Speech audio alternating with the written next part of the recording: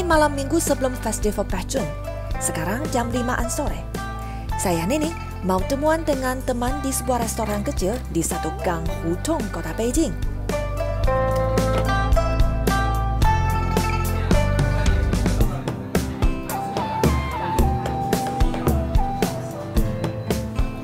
Dekorasi di sini nostalgia zaman 1980-an.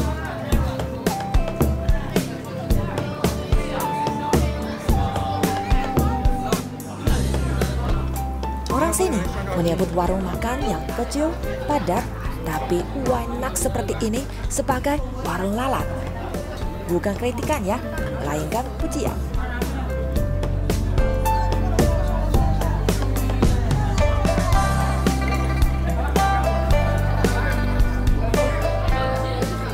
Daging dan babat sapi sangat saya rekomendasi.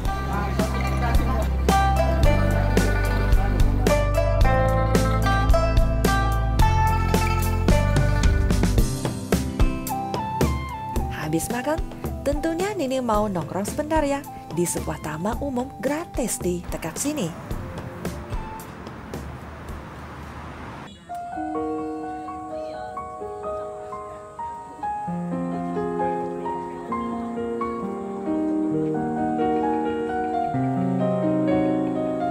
Di dalam taman ini ditanam banyak bunga teratai. Sekarang bulan Juni. Melihat saja daun hijaunya sudah merasa adem.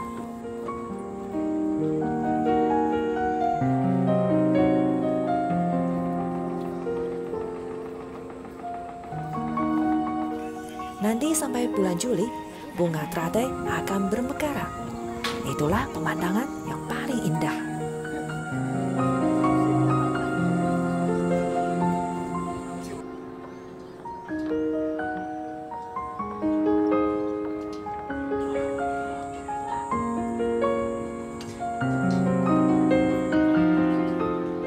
Banyak sekali ya warga Beijing cari sejuk ke sini sesudah makan malam pada musim panas. Ada yang jalan-jalan, ada yang nongkrong, ada yang jogging, ada pula yang menyanyi. Taman kota seperti ini masih ada banyak di kota Beijing.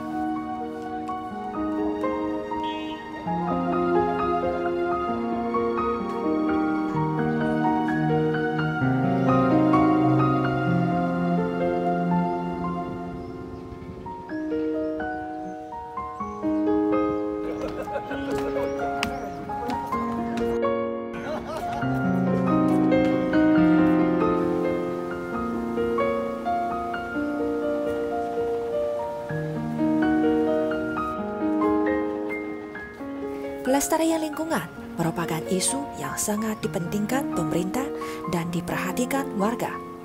Pemulihan ekologi di lahan basah ini justru hasil upaya bersama pemerintah dan warga Beijing.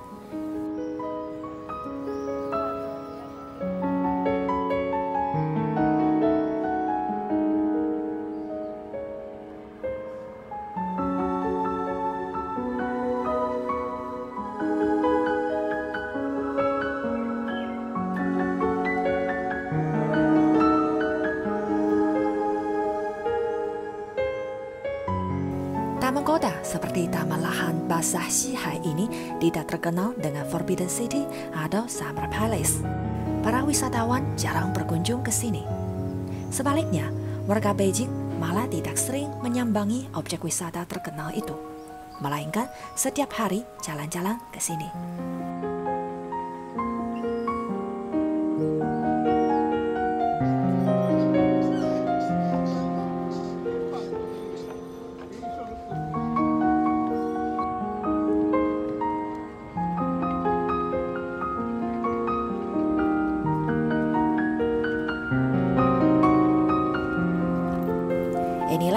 Kehidupan biasa seorang warga Beijing pada malam musim panas.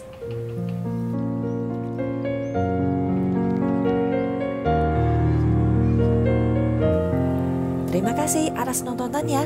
Selamat malam.